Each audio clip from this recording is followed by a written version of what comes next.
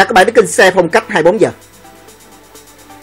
Ducati Panigale 1299S bản nâng cấp hiệu năng.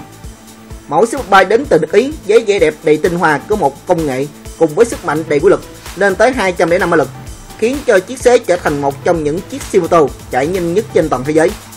Sau khi qua bàn tay người Thái, chiếc xe càng trở nên tinh tế đẳng cấp hơn rất nhiều qua những ốp tình đồ chơi hiệu năng cao cùng ngắm qua bản nâng cấp khiến cho chiếc Ducati Panigale 1299S càng trở nên hoàn hảo hơn nữa. Ducati Panigale 1299S độ khủng của người Thái. Không quá chú trọng thay đổi cái ngoại hình vốn có, gần như là hoàn hảo của chiếc xe các tài độ tập trung thay đổi những chi tiết trên xe để tăng thêm phần hiệu năng chiếc xe sẽ được nâng cấp với dàn tay phanh và sự hấp dẫn đến từ những tính đồ chia xe với cặp ta thắng tay còn Turbo Rossi đầy danh tiếng.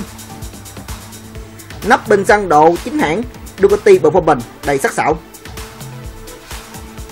Gây ấn tượng ở dàn chân với bộ mâm Marcassini đi kèm sự nâng cấp ở cụm phanh trước El Rebo CB4 ARS và phục ốp xe đầu FCA 300. Thêm mạnh mẽ quy lực hơn sau khi được trang bị cable Alanovic Full System. Một bản độ nâng cấp đầy ấn tượng phải không anh chơi?